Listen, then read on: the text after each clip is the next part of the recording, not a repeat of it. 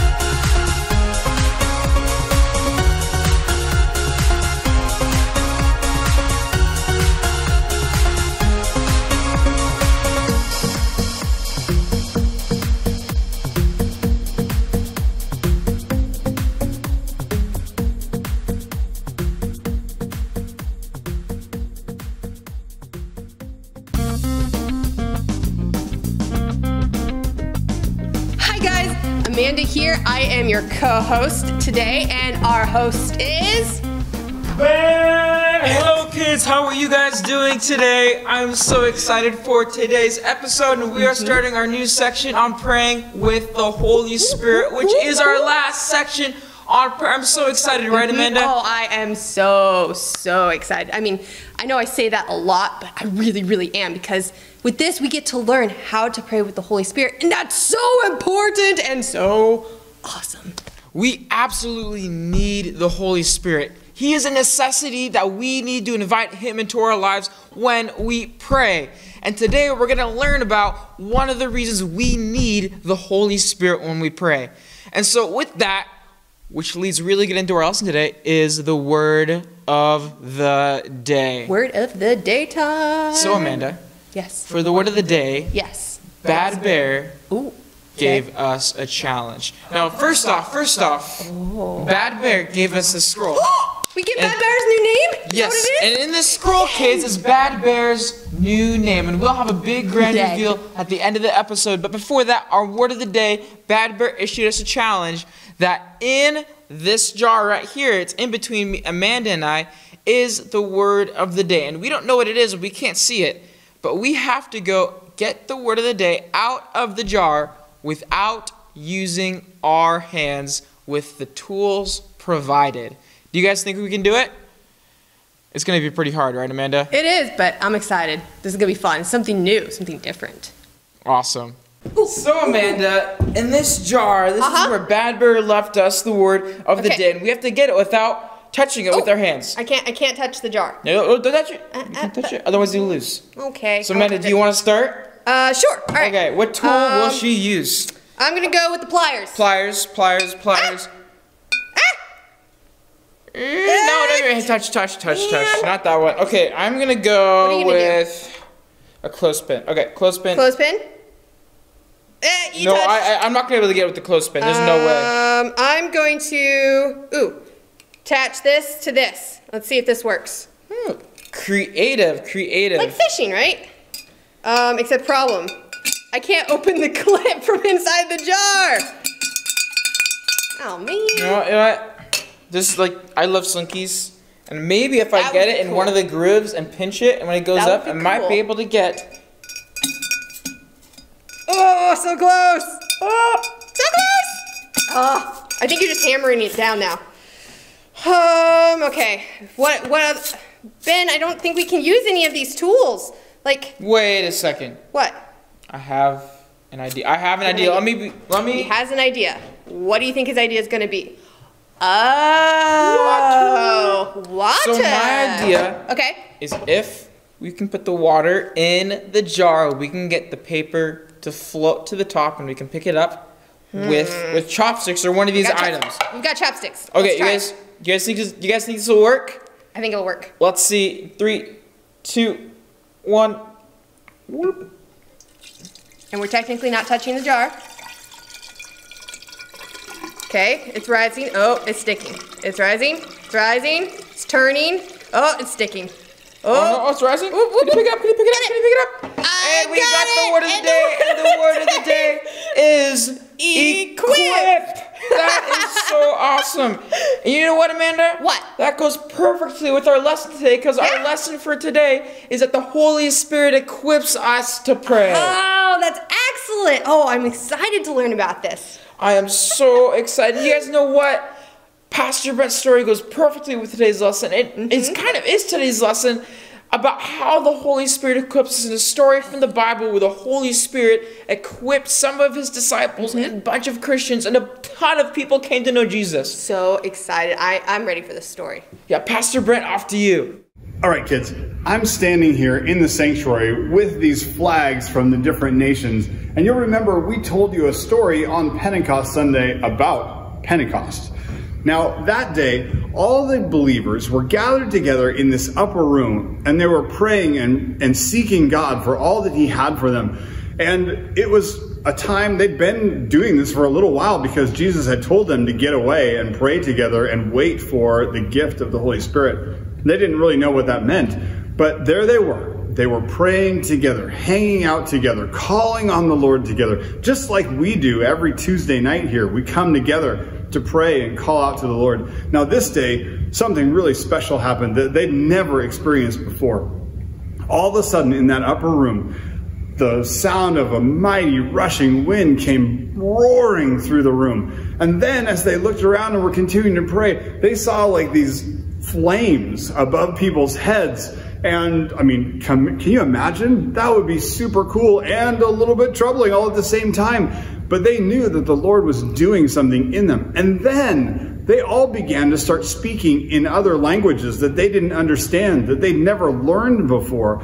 And they didn't know how they had done this, but the Holy Spirit was praying through them. He was giving them this special ability. And guess what happened?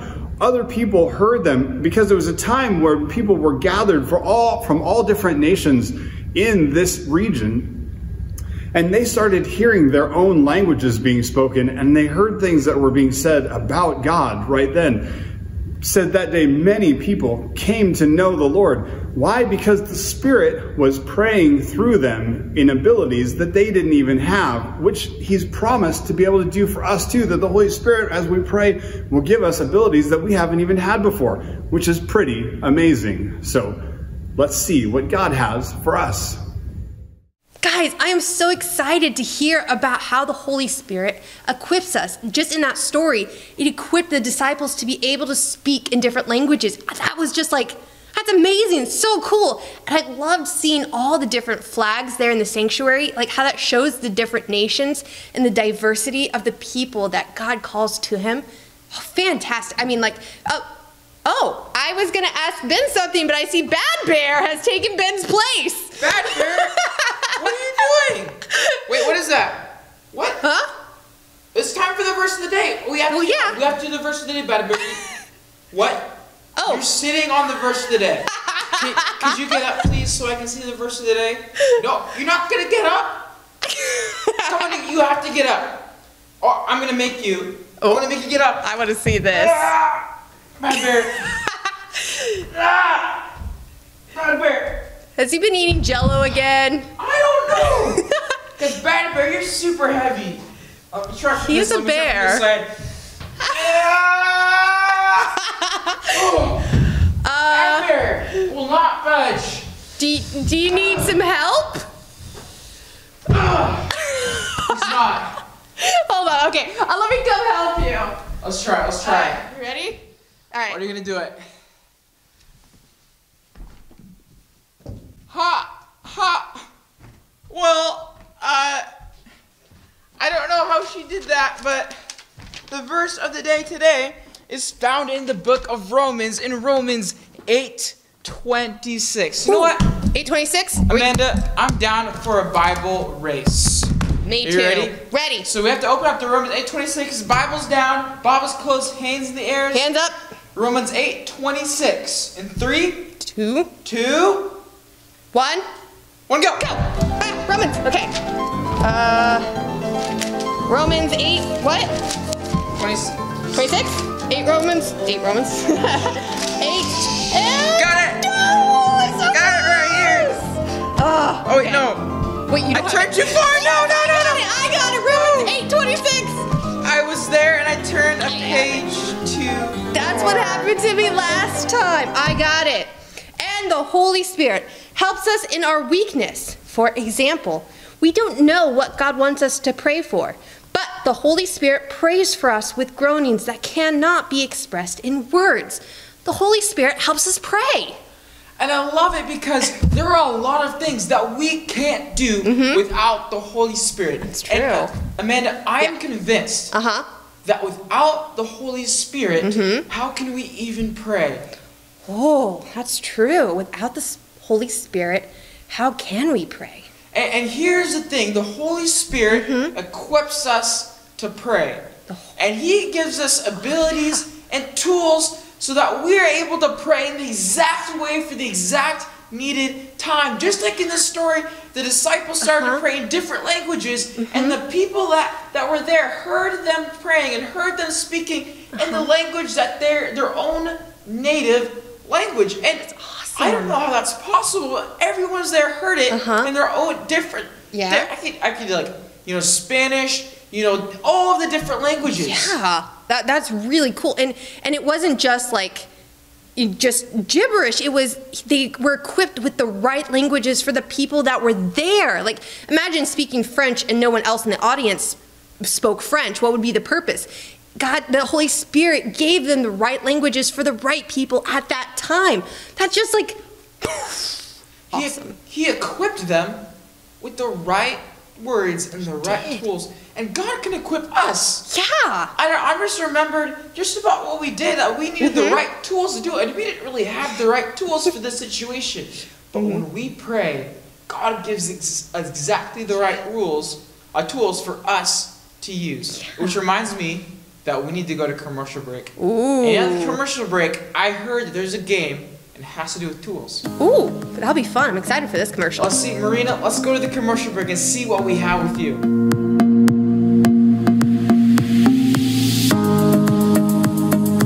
Good morning, Westgate kids, and welcome to your commercial break. With you, I have Naomi. and Eleanor. good morning, guys. Good morning. I have a cool, fun game for you. So today's challenge is inside this butcher block or um, this piece of wood. I don't know what it's called anymore.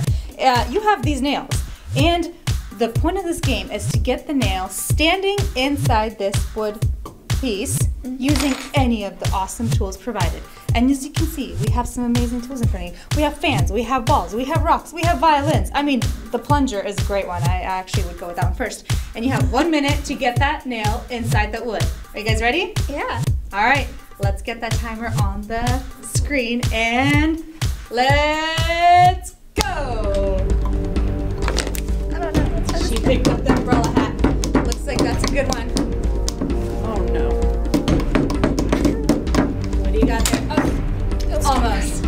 Almost. Yes, the fan is a good one. Yes. Oh, yeah. it's spitting in its mouth. I know, I realized that. You can't just be playing around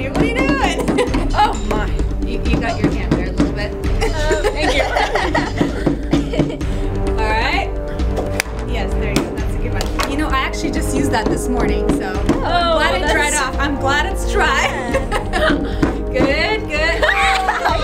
See, at least- oh, there you go. You better watch out for that one. That was the used one. you got it? Okay, okay. About 10, 9, 8, 7, 6, 5, 4, 3, 2, oh, and keep dusting it. Oh, dusted it off there. All right.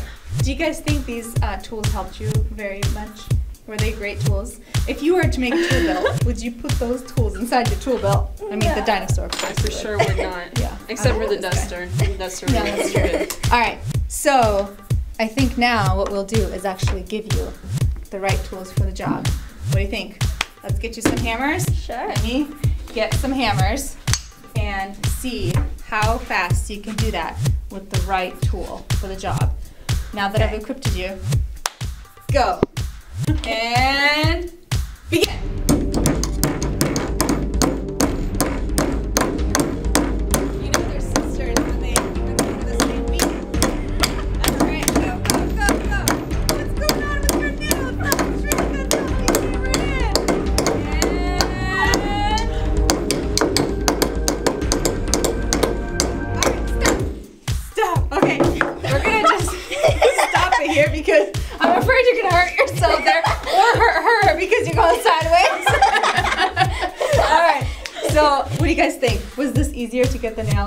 Inside? I that? think so. Yes. I think that's a better tool for the job, and you guys did so great.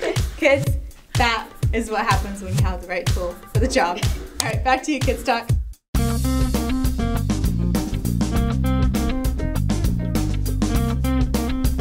Marina, Eleanor, Naomi, that was so fun. I loved watching that. Like trying to hammer in the nail with like a dinosaur or a plunger. Wasn't that funny? She had the feather duster, and she was. Oh, Eleanor was so close, and it knocked over, and yeah, that was fun.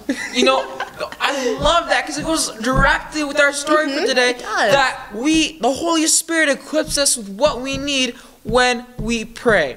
And here's the thing, kids that doesn't just happen in the Bible, that happens today. The Holy Spirit equips us to pray. Sometimes He can equip us with special abilities and gifts, like speaking a different language that we don't even know.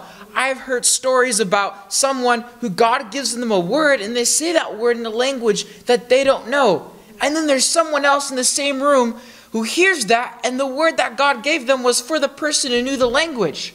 And God equipped them so that they were able to pray the exact thing that God wanted to say. And God can do that in your life, right, Amanda? I mean, it, it doesn't even have to be something that's done in another language. Sometimes the Holy Spirit just gives us the right words where we can help pray for people or encourage people. And it's the Holy Spirit knowing exactly what the people need and what we need to do and equips us not only with words, but maybe with the the courage to do it or even the understanding to go forward or not to go forward. You know there's there's so many different ways the holy spirit equips us to do the different things. And it all comes back down to that prayer relationship that we have that we have that where we listen and we we talk with god and knowing him. And the holy spirit just makes that even so much better because it it gives us direction. It equips us there's just so many amazing things And that reminds me of a story from my life about how the Holy Spirit, through praying, spoke to someone into my life. oh And so when God was God called me to go into ministry and he called me to tell people about Jesus. And so when for a period of time God called me but I wasn't sure if that was really something I wanted to do or needed to do. And and so I went and one day I was at a prayer meeting upstairs. Who's been to prayer meeting? I love prayer meetings so much, but I was in a prayer meeting uh, in my head I was praying to God, God, if you want me to go and tell people about Jesus and go into ministry, give me a sign today during prayer meeting. And not not even 10 seconds later, not even 10 seconds later, someone goes up to the microphone and they pray this. God, I feel like you're bringing up people who are going into ministry and they're in this room right now. that's awesome And the Holy Spirit equipped them with the right words and the right thing to say to speak to me.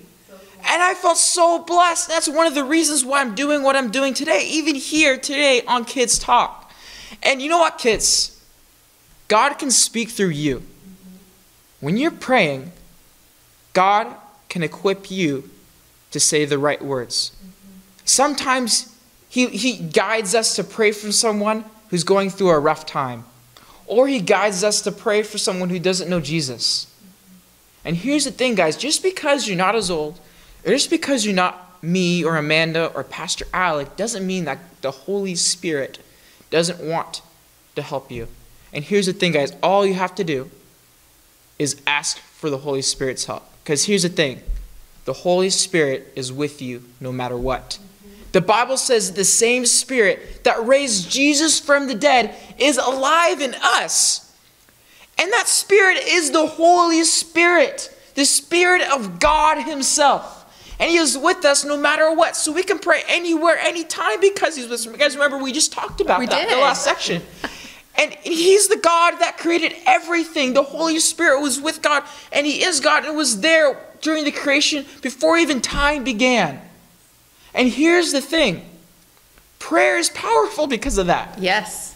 And we need, we absolutely need to invite the Holy Spirit to equip us when we pray. Because prayer changes things. Because things. prayer changes things. I cannot emphasize this enough. I cannot emphasize this enough. We need the Holy Spirit in our prayers. And the way we have the Holy Spirit in our prayers is to invite Him. And by inviting, all we have to do is ask, Holy Spirit, please guide me when I pray today. So I'm going to pray for you guys real quick. I'm going to pray that the Holy Spirit will guide you in your prayers and to remind you for you to invite Him into your prayers when you pray. Okay, kids, fold your hands, close your eyes, let's pray. Jesus, thank you that you're always with us. Holy Spirit, thank you that you're always with us no matter what. And that you're powerful and you care about us, that you, you decide that you want to be with us and make us your temple and reside with us. Help us to remind us that when we pray, to invite you into our prayers and to be conscious and aware of what you're doing around us and what you're guiding us, and help us to hear you, even if it's just a thought in the head or if someone else speaking to us, to, to listen to what you want us to pray and what you want us to do. And we thank you. Amen. I just, I'm so excited to learn more about how the Holy Spirit equips us in prayer. Like, I don't think I can, I can learn enough. I'm uh, so great. Uh, Ben, what do you? Oh, It is time God! to reveal our name for, Bad, Bear. Are you excited? I am. I am Are so you excited. excited, kids? You guys do you excited? guys think you guys think you know Bad Bear's new name? Uh, I don't know what it is, but let's open it up. Take we the tape it, off. I, I think it's like in big letters, right? Just in big letters, we have it here. The grand reveal in three, two. What? Uh-oh. What? What? No! what? What happened? What? What happened? I thought it was sealed and ready to go. Like what? I remember. I remember that that they sealed it. oh no! I didn't see the name. Oh. Well, I guess this week we won't figure out what Bad Bear's new name Sorry, is. guys. But don't we have a challenge for this week, Amanda? We do, which I mean, I guess kind of can go with this. What happened? I mean, so our challenge was, you know, we talked about being equipped. And so we want you to invent your own tool and you can come up with what it's used for, how it works. We just, you can't do a normal tool. You can't say, oh, this is a hammer with like, that glows in the dark. You need to come up with something different. You can think it out, you can draw it out. If you want to try to make it, that's even cooler. Um, you know, can, can one of you guys invent something that can like take us back in time so we can actually see Bad Bear's Can name? I make a tool that turns all Skittle flavors into the red flavor into my Skittles? Because I don't like any of the flavors except for red. that would be cool. Or, or what about like a teleportation device? That would be a fun tool. That'd be it, just don't let Bad Bear have it. Oh, that'd No. be kind of scary. well, you know what, kids? That's our challenge for the week to make your own tool, and that is all we have for you today, right, Amanda? It is. And that we today we learned that the Holy Spirit equips us, and He can equip you. All we have to do is invite Him. Yep. I love that the Holy Spirit equips us. We'll see you guys next week.